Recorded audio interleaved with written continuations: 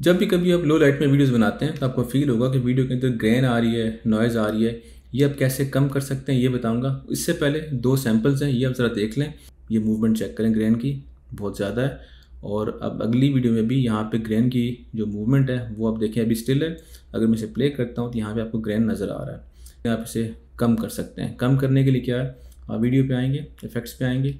और सर्च करेंगे V R D noise drag and drop करना है आपको। जो डिफ़ॉल्ट वैल्यू है, वो ज़ीरो पॉइंट टू ज़ीरो है। तो इससे काफ़ी हद तक काम आपका हो जाता है, लेकिन वीडियो यहाँ से ख़राब हो जाएगी। लगेगी जैसे वाटर पेंट टाइप चीज़ हुई है। तो इसकी वैल्यू मैं कम करूँगा ज़ीरो पॉइंट ज़ीरो एट और आएँगे लोमेट्री पे।